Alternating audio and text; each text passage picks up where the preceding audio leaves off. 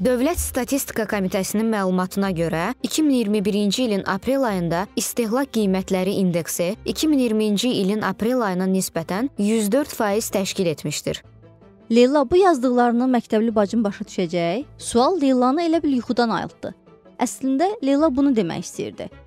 Vətəndaş keçən il 100 manata etdiyi bazarlığa bu il 4 manat artıq xərcləyəcək. Çünki 2020-ci ilin apreli ilə müqayisədə bu il istehlak malları 4%-dən çox bahalanıb.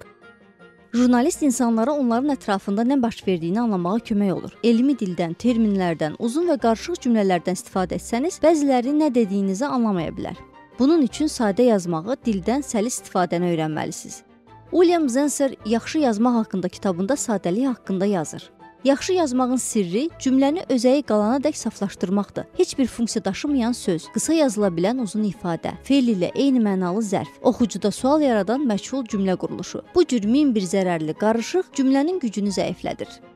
Gözəl yaza bilmək söylənilən hekayələrə özəllik, axıcılıq və davamlılıq gətirir.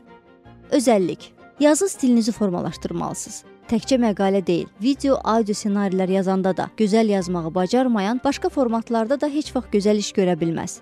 Müəllifin yazı stili təkcə sözləri ard-arda düzməsi, cümlə quruluşu, ümumiyyətlə hansı sözlərdən istifadəsi ilə yaranmır. Bu həm də jurnalistin nəyi sezməsi, müşahidəsinin gücü və bunu ifadə etmə bacarığına bağlıdır. Kitab oğrusu filmində Max Vanderburg Lizel Memingerdən günün necə olduğunu soruşur. O sadəcə buludludur deyir. Vandenburg ona öz sözlərini elədi. Sanki gözlərin danışır deyəndən sonra Meminger bildirir. Solğundur. Sanki hər şey buludların arxasında gizlənib. Günəş isə gümüşü istiridiyaya bənzəyir. Vandenburg mən gördüm deyir.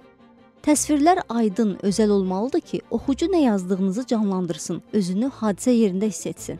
Video ssenari yazırsınızsa, görüntüdə olanları təkrarlamayın. İzləyicinin sezmədiyi məqamları, detalları vurğulayın. Axıcılıq Cümlədəki söz sayı 20-dən az olmalıdır. Qısa yazanda hər sözün dəyəri və əhəmiyyəti artır. Artıq sözlərə yer qalmır. Yazı strukturunun dinamikası, quruluşu yorucu olmamalı və dil klişelərdən təmizlənməlidir. Reportyorları robotlara vəzləsəydi, o zaman məqalələr, reportajlar, sənədli filmlər ingiliscədən Azərbaycancaya Google Translate mətni kimi görünərdi. Dillə yad ifadələr yer alar, uyğunsuzluq yaranardı. Yazı quruca sözlərdən ibarət olmamalı, özündə hissləri cəmləməlidir. Bu o demək deyil ki, jurnalist hisslərini yazmalıdır və ya mübaliğəli təsvirlər seçməlidir. Emosional söz baqajı elə işlənməlidir ki, izləyən yazının, görüntünün 11 tərəfində baş verənləri duya bilsin. Belə yox.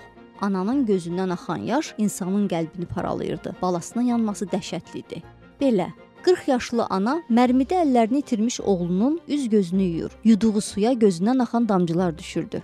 Ananın cavan olmasını, daha neçə illər övladını yenidən bələkdəki kimi bəsləyəcəyini bir cümləyə sığışdırdıqda ağlayacaqmı, qürurlanacaqmı, qəzəblənəcəkmi seçim oxucunundur. Hansı səhnənin kimə necə təsir edəcəyi müəmmalıdır. Dəqiq təsvir hər kəsə öz payını götürməyə kömək olur.